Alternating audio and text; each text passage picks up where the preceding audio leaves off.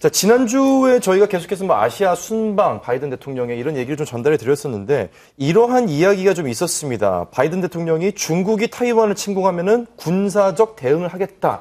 이런 얘기가 있었습니다. 이런 말에 덧붙여서 중국 국무원 대한사무판공실에서도 이 대변인 명의 입장문을 통해서 불장난을 하는 자는 반드시 제불에 타 죽는다. 뭐 이런 네. 어우, 수위가 높은 말들이 오갔어요. 네, 뭐 듣기만 해도 정말로 뭐 살벌하다 이런 표현이 적합할 정도로 굉장히 수위가 높았는데요. 네. 타이완 문제가 양국 사이에 정말 민감하고 중요한 것 같습니다. 근데 바이든 귀국 후에 2라운드가 또 진행이 됐었다고요? 네, 그렇죠. 지난 26일에 블링컨 장관이 얘기를 했어요. 네. 중국이 대만을 계속 고립을 시키고 그리고 대만 해협에서 군사행동을 하게 되면은 대만이 충분한 방어력을 가지고서 저항을 할 수 있도록 미국이 충분히 어, 도와주겠다라는 얘기를 했습니다. 그런데 중요한 것은 이게 미국의 대만 관계법에 그대로 나와 있는 문장이에요. 즉 그렇게 특이한 내용은 아닌데 왜 이렇게 어, 전 세계가 주목을 하느냐 이게 중요한 점이죠. 과거에 미국 정부는 일부러 나서서 대만을 도와주겠다라고 얘기하지도 않았지만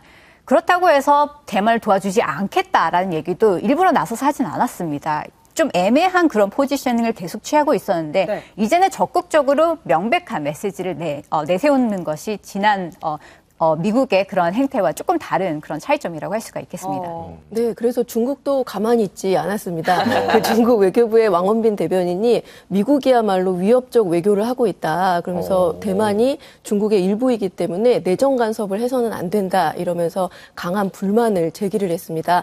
또 중국의 완전한 통일 이것을 강조를 하면서 이 대만 문제에 대해서는 타협이나 어떤 타협의 여지가 없다고 다시 한번 재확인했습니다. 네. 그래도 뭐 2라운드는 1라운드보다는 좀 낫네요. 그러게요. 뭐, 뭐, 불 얘기 나오고 막 이런 얘기 안 나와서 다행인데. 자, 한마디로 정리를 해보면은 미국은 타이완을 지키기 위해서 이 군사적 행위도 취할 수 있다. 그리고 중국은 반드시 어, 타이완을 이제 우리 걸로 인정하겠다. 이런 의미들의 이야기인 것 같은데. 중요한 것은 타이완은 어쩌다가 미국과 중국 사이에 이렇게 중요한 거점으로 자리 잡게 된 걸까요? 된 걸까요? 네, 제가 지난주에 솔로몬 제도가 어디 있느냐고 괜히 여쭤봐가지고 네, 당황하셨을 것 같은데 대만이 어디 있는지는 잘 아시죠? 아, 알죠. 아, 아시죠? 네. 그렇습니다. 아, 타이완, 아, 대만은 바로 중국 남쪽에 있는 섬입니다. 아니, 부캐를 지금 몇 개까지 늘리시려고. 그 오션스 12라는 영화가 예전에 있지 않았습니까? 아, 예. 있었죠. 그래서 부켓 12, 부켓 한11 정도면 만족하겠습니다. 12개? 알겠습니다. 네. 네 아, 사실 근데 굉장히 또 요즘 현대 사회를 살아가시는 분들 바쁘지 않습니까? 그래서 3분 요리보다 더 적은 단 1분 만에 대만에 대해서 여러분께 참 쉽게 설명해 드릴게요. 중국 본토에서 약 150km 떨어져 있는 타이완은 우리나라 경상도 면적과 비슷한 크기로 인구는 약 2,300만여 명, 세계 최고 수준의 인구 밀집도를 자랑하는데요.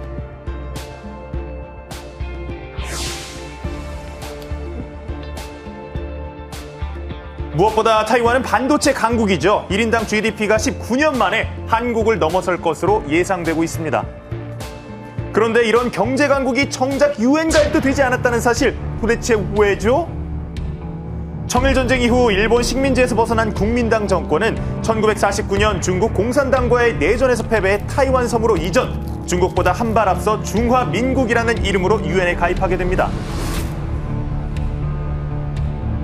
그리고 1971년 중국이 유엔에 들어오면서 타이완은 굴욕적인 탈퇴를 하게 되는데 이후 중국의 성의 하나인 타이완성으로 불리게 된 타이완 독립된 나라인 듯 나라 아닌 나라일까? 아유, 수고하셨습니다. 12개 캐릭터 가능할 것 같네요. 잘하시네요, 되게. 아니, 근데 이ವಾಗ 나오셨으니까, 예. 진웅 씨, 70년대 유엔에서 대체 무슨 일이 벌어졌던 거예요? 아, 70년대 유엔에서 어떤 일이 벌어졌었냐면요. Time to 또, 또. say goodbye. 또 가시는 거예요, 그렇게? 가야 될 시간이거든요. 네. 정답은 바로 김진아 교수님이 말씀해 주시겠습니다. 사실 이, 어, 70년대는 미중 대탕트가 모색되던 그런 시기예요. 네네. 이제 미국이 중국과 손을 잡게 되는데 그 당시 공산 진영에서는 소련 진영과 중국 진영으로 이제 경쟁을 하게 됩니다. 아. 스탈린이 사망한 이후에 누가 리더십을 잡느냐를 가지고 이제 서로 경쟁을 하게 되는데 하필이면 소련과 중국과의 국경 지역에서 무력 충돌이 빈번하게 발생을 해요. 음. 게다가 중국의 이웃이라고 할 수 있는 인도, 파키스탄 그리고 아프가니스탄에 소련이 군사적으로 지원을 또 하게 되는 네, 이제 네, 포위를 막 하는 그런 과정에서 중국이 바라보는 소련에 대한 이미지가 완전히 달라지는 거죠. 음. 이제는 적으로서 바라보게 되는데 여전히 소련의 적은 미국이에요. 아. 그러면 여기서 아주 흥미로운 삼각관계가 만들어집니다. 네. 나의 적이 있는데 적에게 또 새로운 적이 있단 말이죠. 네. 그러면 이 적은 나에게 누구다? 친구가 될 수 있다.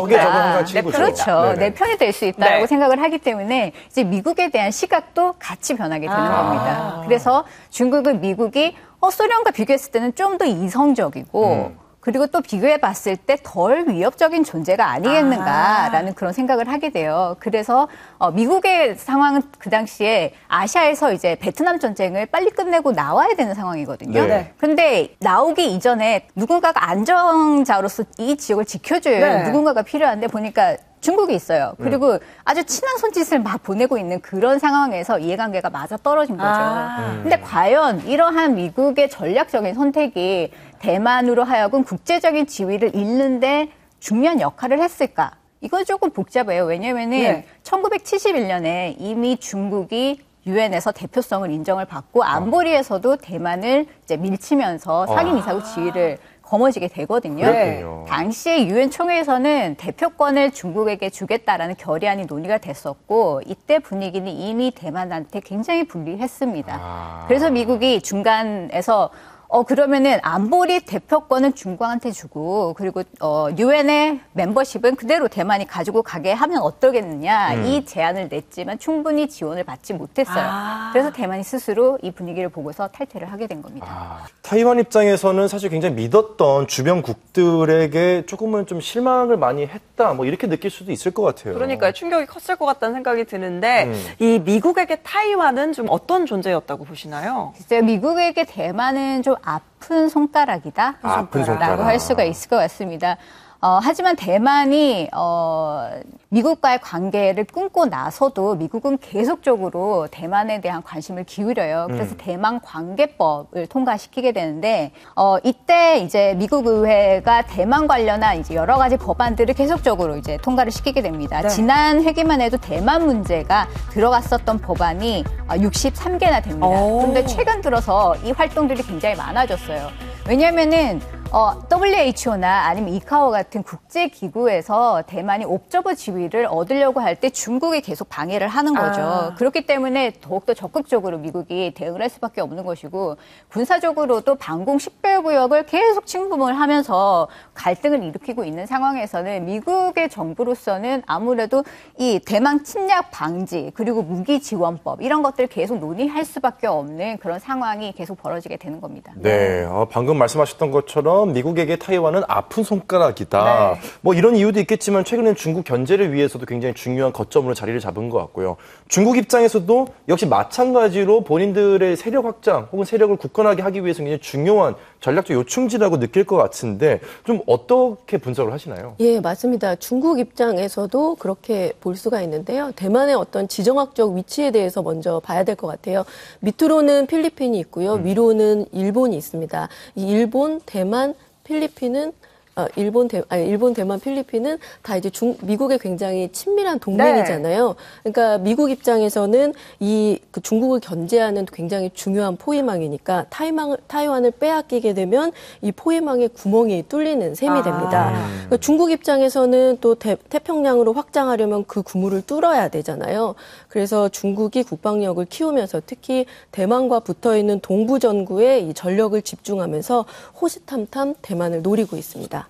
네, 이렇게 어, 대만을 적극적으로 방어하는 이유는 미국에게도 역사적인 경험이 있기 아. 때문이에요. 1950년에 미소가 이제 대치를 시작하는 그런 상황에서 에치슨 국무장관이 어, 대만과 한국을 일본과 필리핀을 연결하는 방어선에서 제외하는 발언을 하게 됩니다. 이것이 결국은 6.25 전쟁으로 이어지는 어, 그런 어, chain reaction을 어, 가지게 되거든요. 네. 이때 북한과 소련이 봤을 때는 미국의 방어 의지가 좀 약하지 않느냐라는 어. 오판을 하게 된 거죠. 어, 당시에 중국은 대만을 침공을 해서 일단 어, 통일을 완성하려고 모든 준비를 하고 있었는데 한반도에서 먼저 전쟁이 터진 거예요. 네. 그래서 미국이 해군을 대만으로도 보내면서 이 기회를 중국이 상실을 하게 됩니다. 미국으로서는 이렇게 오판을 할 수 있는 그런 기회를 제공을 했기 때문에 네. 앞으로는 명료한 메시지를 던져야 될 때는 명료하게 나가야 된다라는 아. 그런 교훈을 얻은 거죠. 그렇군요. 그러면 앞서 이제 미국에게 타이완은 아픈 손가락이다라고 했는데 그럼 중국에게 타이완은 뭐다라고 표현할 수 있을까요? 아, 중국에게 타이완은 음, 한마디로 표현하면 우리가 남이가? 그러니까 아, 그렇게 피는- 느낄 수 예, 있겠네요. 피는 물보다 진하잖아요. 그러니까 어차피 중국 입장에서는 대만은 우리가 하나가 돼야 되는 어떤 통일의 대상이기도 하고요. 그 다음에 중국에서는 하나의 중국이라는 이런 업적을 이루어야 하기 때문에 완전한 중국몽의 달- 달성을 위해서는 타이완 통일이야말로 희생을 감수하 고라도 반드시 이루어야 되는 그런 문제입니다. 네, 방금 말씀하신 이 중국몽을 이루기 위해서 희생을 감수하겠다. 그 희생이라 하면 아무래도 이 군사적인 충돌까지 염두에 두고 있는 게 아닌가라고 예상을 좀 해볼 수 있는데요. 반드시 타이완을 흡수하겠다는 의지로 저희가 좀 해석을 할 수 있을까요? 네. 그 중국 외교부의 왕원빈 대변인이 추천한 옛 노래를 좀 눈여겨볼 필요가 있는데요. 어. 제가 이거 5년간 이제 중국 외교부 브리핑을 참석을 했었잖아요. 네. 근데 우리나라 브리핑은 보면 우리나라 외교부 브리핑은 보면 대체적으로 좀 정제된 언어들이 많은데 중국의 브리핑은 좀 속담이라든지 사자성어를 써서 굉장히 좀 그들 입장에서는 뼈 때리는 말들을 많이 아. 하거든요. 예를 들면 중국 군을 뭐 그 손오공의 여의봉에 비유를 하기도 하고 또 미국에서 관세 폭탄을 내 리니까 아, 참깨 주우려다 수박 떨어뜨린다 뭐 이런 속담을 쓰기도 했습니다. 근데 이번에는 이제 노래를 꺼낸 거예요. 어. 이 노래는 아주 대표적인 반미 애국가요인데 영화 상감령이라는 영화 50년대 영화인데 여기에 주제곡으로 쓰였습니다. 네. 이 상감령 전투가 어떤 의미냐면 중국 입장에서는 건국된 지 얼마 안 돼서 굉장히 약한 군대인데 이 세계 최강의 미군을 상대로 승리했던 경험이거든요. 그래서 가사도 굉장히 호전적입니다. 그러니까 승량이나 이리가 온다면 그를 기다리는 거는 역총밖에 오. 없다. 승량이나 이리는 당연히 미국이겠죠. 네. 그러니까 미국이 어떤 형태로 뭐 도전을 하든지 우리 중국 입장에서는 이길 수 있다. 그러니까 대만 어, 대만 문제에서는 물러설 의사가 없고 중국도 반드시 승리할 것이다. 이런 아. 의미입니다. 자, 미국에게는 뭐 아픈 손가락이고, 그쵸? 뭐 중국에게는 또 우리가 남이가 자, 통일의 대상이라고 생각을 하고 있을 것 같은데, 타이완 사람들 입장에서는 사실 이 고래 싸움에 새우등 터지는 격이라고 이해가 될 것 같거든요. 그렇게 느껴질 것 같은데, 실제로 타이완 현지에 있는 타이완인들 스스로의 정체성은 좀 어떤가요? 그들에게는 어떤 의미일까요? 예, 굉장히 중요한 포인트인데요. 원래는 쌍중 승인이라고 해서 그러니까 두 가지의 어떤 인식들을 다 갖고 있었어요. 그러니까 내가 대만인이기도 하지만 중국이기도 하다. 아, 실제로요? 예, 예. 근데 이제 2000년대에 넘어오면서 이런 인식들이 굉장히 많이 바뀌기 시작을 합니다. 제가 2020년에 이제 대만 총통 선거를 갔었는데, 근데 제가 이제 중국어로 물어보면 저는 이제 베이징 말투거든요. 아. 그러니까 중국인으로 좀 오해를 하는 경우들이 있어서 그러면 이제 말을 하다 보면 아 너네 대륙, 너네 중국, 너네 나라 이렇게 아. 그러니까 완전히 이제 분리를 하는 그런 인식들이 굉장히 강했고 네네. 또 대만은 민주주의를 향유하고 있다는 어떤 자부심도 굉장히 드러났습니다. 그러면서 이제 중국과는 좀 선을 긋겠다는 그런 인식들이 좀 강했어요. 지난해에는 아예 그 여권 디자인을 바꾸었는데요. 아. 지난 어, 그, 그 코로나 때문에 중국에 대한 어떤 반중 감정들이 올라가다 보니까 대만과 중국을 완전히 구분짓겠다. 그래서 결과적으로는 새 여권에는 차이나를 굉장히 작게 만들고 아하. 타이완을 크게 강조했습니다. 네. 최근에 분위기가 이렇게 바뀌게 된 계기 같은 게 좀 있을까요? 네, 올해 베이징에서 이제 올림픽 했던 거 기억하시죠? 네. 네네네. 네, 이 올림픽 베이징 아, 베이징에서 올림픽이 열렸지만 대만의 국기나 국가는 볼 수가 없었습니다. 그렇죠. 예, 그 네, 대만 이, 이거 이유는 아마 그 일제 때 한국을 생각하시면 좀 비슷할 것 같은데요. 네. 하나의 중국을 외치는 중국의 반대 때문입니다. 그러니까 지금 저 모습이 사실은 이제 스포츠 팬들에게 굉장히 좀 회자가 많이 됐었는데 타이완이 올림픽에서 첫 메달을 땄음에도 불구하고 마치 없는 나라 혹은 없는 선수인 것처럼 이 국기 대신에 올림픽 위원회 위원회기가 아, 올라갔었거든요. 네. 선수도 막 울고 정말 약간 공허한 음. 어떤 승리의 현장 같은 느낌이 좀 있었던 기억이 있네요. 저 장면이 기억이 납니다. 네, 맞습니다.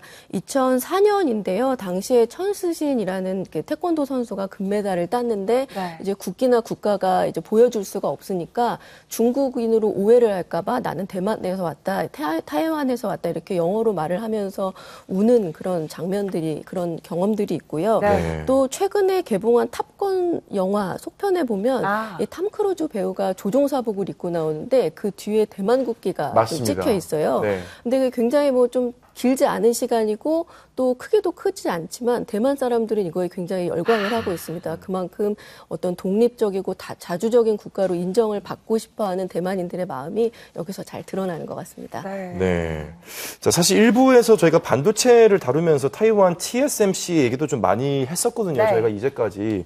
반도체 강국이잖아요, 타이완이. 경제적으로 탄탄하니까 조금 더 독립을 원한다. 혹은 좀 더 독립에 가능한 이런 원동력, 힘이 좀 있을 것 같다. 이렇게 판단할 수도 있을 것 같은데 어떻게 보시나요? 근데 반도체는 대만의 화려한 부활을 뒷받침하는 거라고 할 수 있죠. 네네. 물론 경제적인 수단이기도 해요. 음. 하지만 또 다른 측면에서 보면 안보적인 수단이라고도 볼 그럼요. 수가 있는 네. 것이거든요. 왜냐하면 동아시아 국가 중에서 한국, 일본 그리고 대만이 반도체 수출을 하고 있지만 최고급 반도체는 결국은 대만이 장악을 하고 있습니다. 어, 미국의 실리콘 밸리라고 있잖아요. 네. 네네. 여기에서 아마존, 애플 등 미국의 이제 IT 어, 산업을 주도하는 기업들의 반도체를 제공하는 것이 결국에는 대만이에요. 그래서 대만의 이 마이크로칩, 이 반도체를 뭐라고 부르느냐면 실리콘 실드. 그러니까 실리콘 방패다라고까지 아. 얘기를 합니다. 왜냐면은 이 반도체 산업, 이 대만의 반도체 산업이 불안정하게 되면은 결국엔 미국의 기업들도 불안정하게 되는 것이거든요. 그러면은 미국이 적극적으로 방어를 할 수밖에 없는 상황이 돼요. 게다가 미국 반도체 산업협회가 최근에 발표한 어, 보고서에 의하자면은 대만에서 반도체 사업이 만약에 중단이 될 경우에는 이 전 세계적인 쇼크가 올 거다. 한 5천억 달러에 육박하는 그런 경제 쇼크가 와. 올 건데 그렇게 되면은 결국에는 중국도 여기에서 안전하지 못하다라는 네. 그런 논리가 이제 가능한 거죠. 네. 그러면은 중국 경제를 생각을 했을 때 중국도 마구 무력 사용을 할 수 없는 것이 아니냐. 마치 고순도치의 그 가시를 우리가 만질 수 없는 것처럼 그쵸, 그런 그쵸, 그쵸. 상황이다라고 표현을 하고 있습니다. 네, 음. 근데 뭐 또 이런 시각도 있어요. 타이완에게 반도체는 위험한 보물이다. 어, 어, 왜 위험한 보물이죠? 야, 이거 되게 좀 이중적인 네. 느낌이네요. 이 예. 위험한 보물. 예, 보물인 거는 이제 모두 다, 다 아실 텐데요. 네. 네. 중국에게 대만은 언제나 항상 핵심 이익이었긴 하지만 음. 지금 반도체 문제가 이렇게 중요하게 대두되면서 더욱더 대만은 놓칠 수 없는 보물인 거예요. 그래서 반, 그 반도체 공정 기술은 중국도 사활을 걸고 이제 그 개발을 하려고 네. 하는 분야이니까요. 그러니까 가장 좋은 것은 대만과 통일을 하면 좋겠지만 그것은 뭐 당장 이루어지기는 좀 어려운 문제다 보니까 최소한 미국 과 그 밀착되는 거는 막아야 되는 상황이거든요. 그래서 미국이라든지 중국이라든지 다 이제 대만 반도체에 이제 중점을 두고 있는 그래서 좀 위험한 아. 보물이 될 수도 있을 것 같습니다. 네. 결국 지금 제일 중요한 점은 이 강대국들이 무력 충돌로 가는 건 아니냐. 아. 러시아와 우크라이나 사태 같은 이런 일이 또 벌어지는 거 아니냐라는 부분인데 좀 어떻게 예상하시나요? 글쎄요, 우크라이나의 경우에는 나토에 가입이 되어 있지 않죠. 그래서 음. 의무적으로 도와줄 그런 우방국이 없는 거예요. 그리고 미국은 우크라이나 사태가 났을 때 어, 우리 군대를 개입시키지 않겠다라고 명확히 선을 그었었단 말이죠. 네네. 하지만 대만과 미국의 군사적인 협력은 점점 좀 높아지고 있는 그런 상황이고요.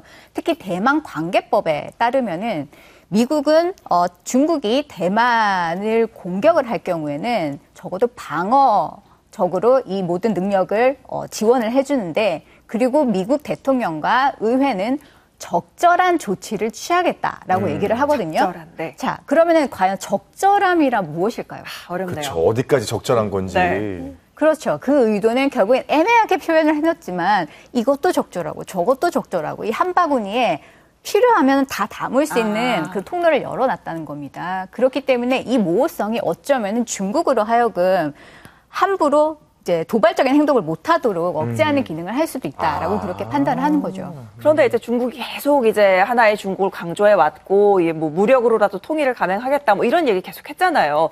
그런 만큼 좀 이제 군사적 긴장이 높아지는 일이 생길 법도 할 것 같은데, 박은경 기자님은 어떻게 보세요? 네, 계기나 뭐 명분이 좀 중요할 텐데 네. 사실 국제 외교가에서는 뭐 빠르면 올 가을설도 있었고요. 2025년설도 있고 2027년에 이제 중국이 대만을 무력으로 어떻게 침공할 수 있다 아이고. 이런 가능성이 좀 제기가 되어 왔는데 네. 2027년이 나온 이유는 2027년이 중국군 건국 100주년이에요.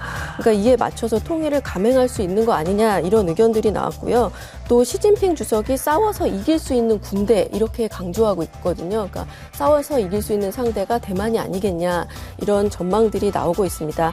또 중국이 계속해서 이 gray zone 전술로 뭐 대만 해협이라든가 타이완을 압박하는 것도 군사적인 충돌 빌미를 잡기 위한 게 아니냐 이런 의심도 있습니다. 아, 뭐 뭐니 뭐니 해도 전쟁은 정말 없어야 됩니다. 네. 네, 무고한 희생은 없어야 되는데 이 문제에 대해서 우리나라는 어떤 태도를 취하고 있나요?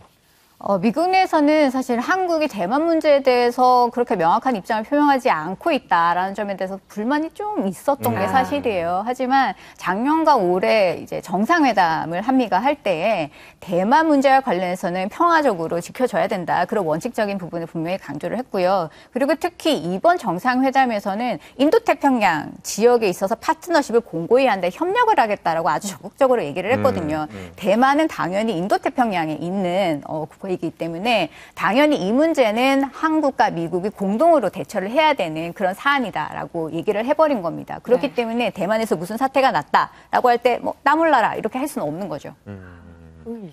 예, 그 중국 입장에서는 갑자기 이제 한국에서 대만 입장을 발표하는 것에 대해 굉장히 불편한 기색을 내비쳤는데요. 예를 들면 싱하이밍 중국 대사는 한중 수교할 때 한국이 이제 한, 한국이 중국에 대해서 하나의 중국 원칙을 인정했기 때문에 대만이 중국의 일부분이라는 것을 계속 인정을 해야 된다 그런 입장을 밝혔고요. 또 2년 연속 한미 정상회담 공동 성명에서 대만 해협 문제를 언급한 데 대해서 대만 매체들도 이것은 중국에 대한 도발이다 이러면서 불편한 그 예, 심정들을 드러내고 있습니다. 네. 자, 그러면 이 패권 다툼 속에서 우리는 앞으로 어떤 입장을 취해야 할지 좀 짧게 말씀해 주신다면 한 분씩. 네.